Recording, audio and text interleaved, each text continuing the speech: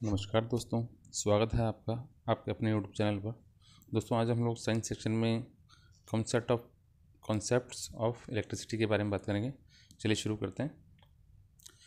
Electricity it is a phenomena in which electric current flows circuit में जब electric current flow करता है तो हम लोग उसको इलेक्ट्रिसिटी कहते हैं। Electricity is form of energy which can be converted into other form of energy electricity can be converted into sound energy heat energy mechanical energy etcetera तो दोस्तों इलेक्ट्रिक एनर्जी को हम लोग दूसरी फॉर्म्स में कन्वर्ट कर सकते हैं इजीली तो साउंड एनर्जी में हीट एनर्जी में मैकेनिकल एनर्जी में, या दूसरी तरह की एनर्जी में हम लोग इसको आसानी से कन्वर्ट कर सकते हैं।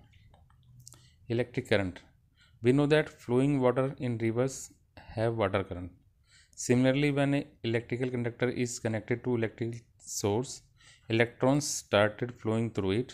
This flow of electrons is called electric current.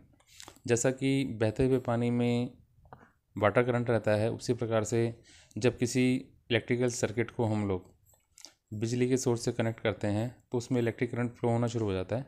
तो इस, ये इलेक्ट्रिक करंट है, इसमें इलेक्ट्रॉन्स का फ्लो होता है इसके अंदर।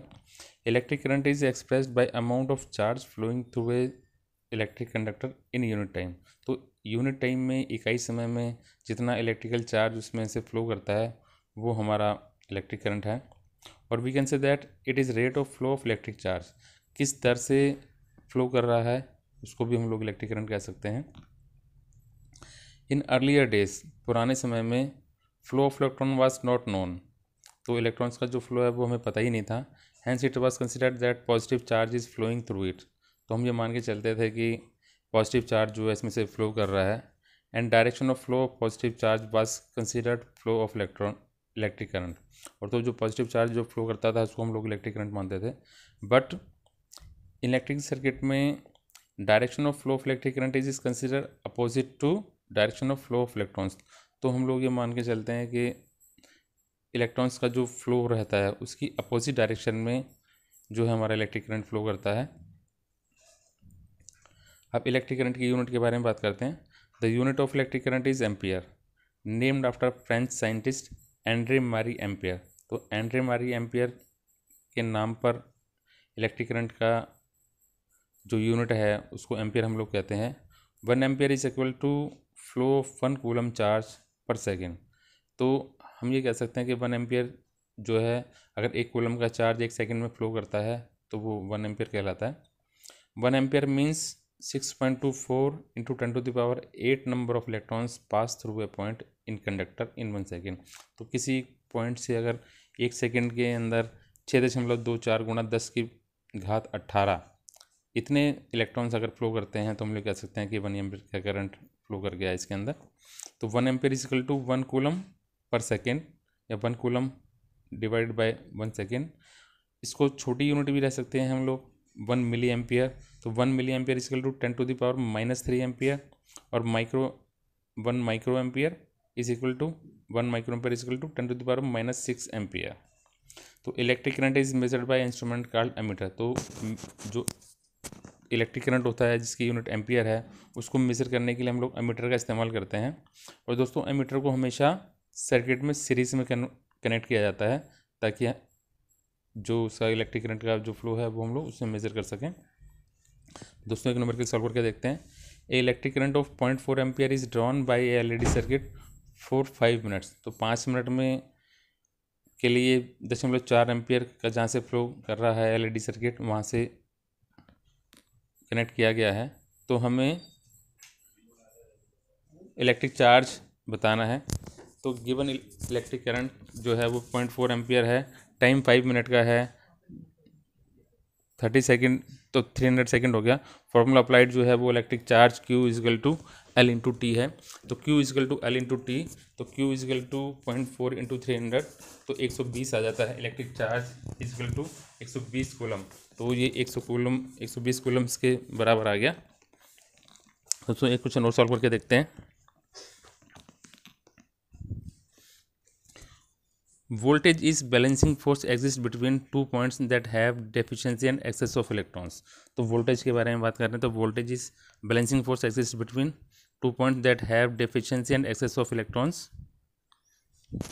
potential difference it is the difference in electrical pressure measured across two points in a circuit तो इलेक्ट्रिक सर्किट में दो पॉइंट्स के बीच में यदि इलेक्ट्रिकल प्रेशर का जो डिफरेंस मेजर करना हो तो उसको हम लोग पोटेंशियल डिफरेंस कहते हैं। हम इसको दूसरे तरीके से भी डिफाइन कर सकते हैं।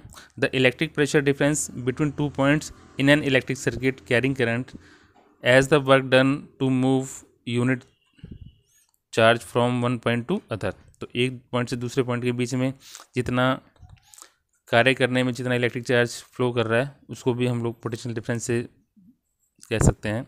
It is measured in volt तो दोस्तों, इसको हम लोग वोल्ट में मेज़र करते हैं और इटालियन साइंटिस्ट एलेजेंड्रो वोल्ट के नाम पर इसका नामकरण किया गया है।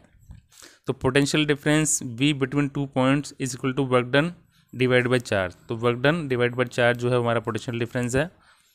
When one joule work is done to move a charge of one coulomb from one point to other ऐसा कह सकते हैं one volt is equal to one joule per coulomb it is measured by an instrument called volt meter तो volt potential difference को हम लोग volt meter से measure करते हैं तो volt meter is connected in parallel तो वोल्ट मीटर से जब हम लोग वोल्टेज मेज़र करते हैं या पोटेंशियल डिफरेंस मेज़र करते हैं तो दोस्तों इसको हम लोग पैरल में कनेक्ट करते हैं।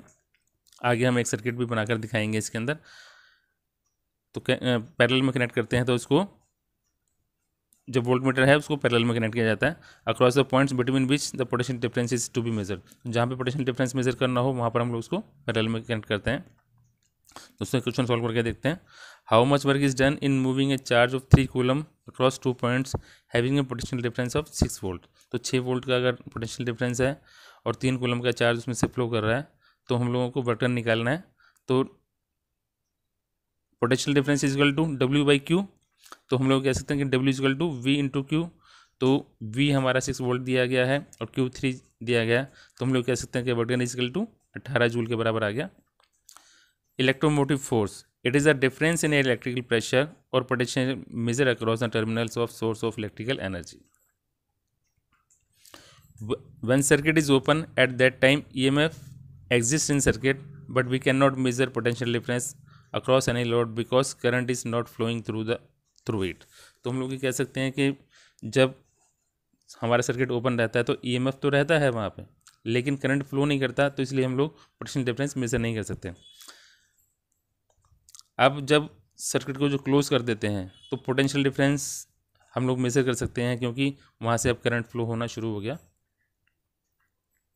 Volt it is measuring unit of voltage potential difference and electromotive force तो दोस्तों वोल्ट जो है वो एक यूनिट है जिसमें हम लोग वोल्टेज को मेज़र कर सकते हैं पोटेंशियल डिफरेंस को मेज़र कर सकते हैं, या इलेक्ट्रोमोटिव फोर्स को मेज़र कर सकते हैं।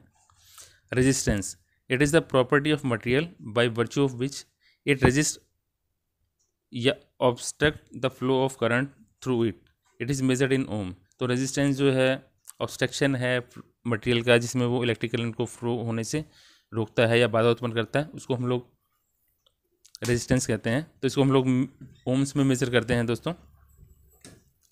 When a current of one ampere flow through a resistance of one ohm then it is said that it have a potential difference of one volt दोस्तों, यहाँ पर हम लोगों ने एक सर्किट बना के दिखाया है। यहाँ पर ये हमारा रेजिस्टेंस आर है और उसके पैरेलल में हम लोगों ने वोल्ट मीटर को कनेक्ट किया है यहाँ पर और एम्पियर को देखिए, यहाँ पर हम लोगों ने सीरीज़ में कनेक्ट किया है यहाँ पर और ये हमारा जो है ये ऑन ऑफ़ वॉल दिया गया है और यहाँ पर ये एक बैटरी दिखाई गई है यहाँ पर। तो जो करंट का फ्लो है वो इस डायरेक्शन में दिखाया गया है।